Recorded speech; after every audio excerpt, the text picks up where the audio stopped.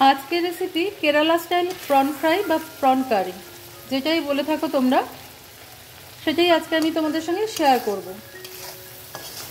রেসিপিটা ভালো লাগলে অবশ্যই বাড়িতে একবার ট্রাই করবে। তাহলে চলো দেখিয়ে দিই আমি কীভাবে এটা তৈরি করলাম। খুব ইজি একটা চিংড়ি মাছের রেসিপি তোমাদের সঙ্গে আজকে আমি শেয়ার করব। সেটা হচ্ছে কেরালা স্টাইল প্রন ফ্রাই কি করে আমরা করব সেটা দেখো, আমি এই কটা উপকরণ নিয়ে নিয়েছি আপাতত। বাকিগুলো আমি তোমাদের রান্না করতে করতে দেখিয়ে দেবো। কাঁচা লঙ্কা, কারি পাতা, আমি বেশ কয়েকটা পাতা নিয়ে নিয়েছি এখানে, রসুন আর পেঁয়াজ। এই কটা উপকরণ আমি আগে একটু বেটে নেব। বেটে নেব বলতে এটাকে পুরোপুরি পেস্ট করব না। কিছুটা গোটা গোটা রাখব। এরকমভাবে আমাদের এটাকে পেস্ট করতে হবে। চাইলে তোমরা হামানদিস্তায় এটাকে থেতো করে নিতে পারো। মোটমাট কথা হচ্ছে, এই সমস্ত উপকরণগুলোকে একটু থেতো করে নিতে হবে। পুরোপুরি বেটে ফেললে চলবে না। নিয়ে নিয়েছি আমি এখানে, দেখো, চিংড়ি মাছ। এই চিংড়ি মাছটা ধুয়ে পরিষ্কার করা আছে। এবার আমি এটাকে কিছুক্ষণের জন্য সামান্য কিছু উপকরণ দিয়ে ম্যারিনেট করব। দিয়ে দিলাম একটুখানি নুন, একটুখানি হলুদ, আর একটুখানি লঙ্কার গুঁড়ো। এই তিনটে উপকরণ দিয়ে আমি একটু মেখে এটাকে ম্যারিনেট করে পনেরো মিনিট সময় রেখে দেবো। Welcome to my channel Shatabdi's kitchen. Shatabdi's কিচেনে তোমাদের সবাইকে স্বাগত। নমস্কার বন্ধুরা, আমি শতাব্দী। তোমরা সবাই কেমন আছো? আশা করি সবাই ভালো আছো, সবাই সুস্থ আছো। আমার নতুন বন্ধু, আমার পুরনো বন্ধু, সবাইকে অনেক অনেক ধন্যবাদ পাশে থেকে এইভাবে আমাকে সাপোর্ট করার জন্য। তো চিংড়ি মাছটা ম্যারিনেট করে আমি পনেরো মিনিট এখন সরিয়ে রাখব। আমি দেখো, এখানে একটা হ্যান্ড চপার নিয়ে নিয়েছি। তো এটার মধ্যে আমি সবকটা উপকরণ দিয়ে দেবো। এটার মধ্যেই আমি একটু রাফলি চপ করে নেব।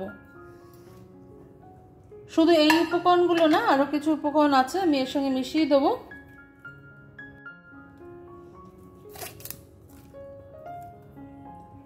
আজকের রেসিপিটা ভালো লাগলে বাড়িতে অবশ্যই একবার ট্রাই করবে। খুব সাধারণ উপকরণ কিন্তু এগুলো, সবার বাড়িতেই থাকে। তো একবার কিন্তু ট্রাই করে দেখতে পারো তোমরা কীরকম লাগে খেতে। এর সঙ্গে দিয়ে দেবো কয়েকটা গোটা গোলমরিচ। এবার আমি এটাকে ঘুরিয়ে নেব। জিনিসগুলো কিন্তু আমার চপ করা হয়ে গেছে, দেখো। তোমরা কিন্তু, আমি বললাম যাদের কাছে চপার নেই, তারা কিন্তু একটু হামন্দিস্তা দিয়ে থেতে করে নিলেও পারো। কোনো অসুবিধা নেই। আর গোলমরিচটা যেরকম হয়েছে, আমাদের সেরকমই রাখতে হবে। আধ ভাঙা অবস্থায় আর কি। তো আমার এটা তৈরি হয়ে গেছে। এবার আমি রান্নার দিকে চলে যাব। আমি এখানে একটা কড়াই গরম করে নিয়েছি, আর রান্নাটা আমি ভেজ অয়েলে করব। ভেজিটেবল অয়েল বা সাদা তেল, তোমরা যাই বলে থাকো। তো কিছুটা পরিমাণ তেল দিয়ে দিলাম আমি, এবার এর মধ্যে দিয়ে দেবো যে পেস্টটা আমরা তৈরি করে রাখলাম পেস্ট নয়, এই যে আদা, রসুন, এটা যোগ করে দেবো।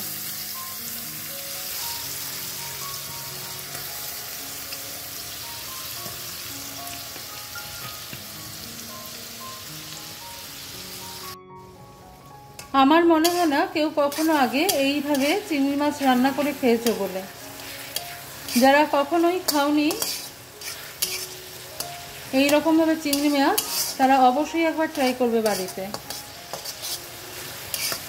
চ্যানেলে যদি কোনো নতুন বন্ধু থাকো, বন্ধু হতে চাইলে বন্ধু হয়ে পাশে চলে আসতে পারো। সেই জন্য পুরো ভিডিওটা তোমাদের দেখতে হবে। দেখে সাবস্ক্রিপশন বাটনের পাশাপাশি বেল নোটিফিকেশনটাও অন করে দিতে হবে। যাতে প্রথম ভিডিও নোটিফিকেশান তোমার কাছে সবার আগে পৌঁছে যায়। তো এটাকে আমি কিছুক্ষণ ফ্লেমটাকে হাইতে করে দিয়ে ভেজে নেব।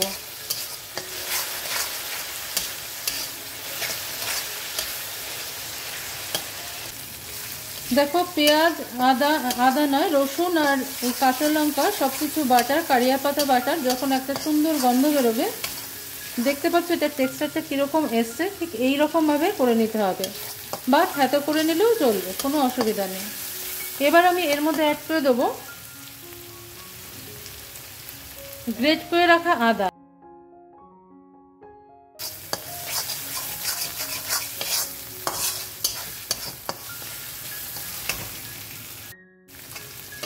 সমস্ত কিছু আমাদের ভালো করে ভাজা হয়ে গেছে। এবার আমি ম্যারিনেট করে রাখা চিংড়ি মাছটা এর মধ্যে অ্যাড করে দেবো। দিয়ে এটার সাথে ভেজে নেব। নুন, ঝালের পরিমাণটা যে যার নিজেদের পছন্দ মতন আর প্রয়োজন মতন রাখবে।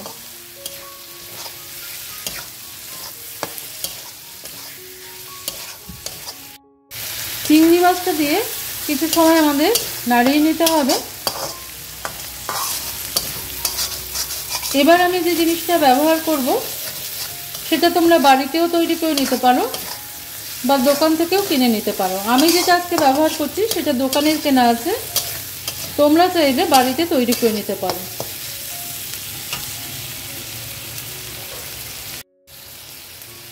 আমি এখানে এক করে দিলাম হাফ কাপ পরিমাপের নারকেলের দুধ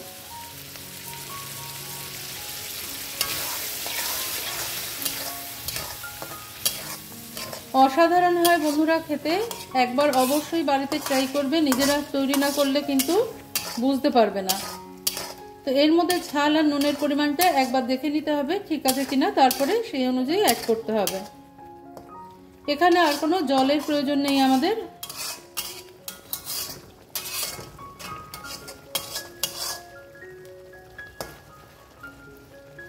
হাই হিটে আমি এটাই কিছুক্ষণ নেড়ে চেড়ে নেব।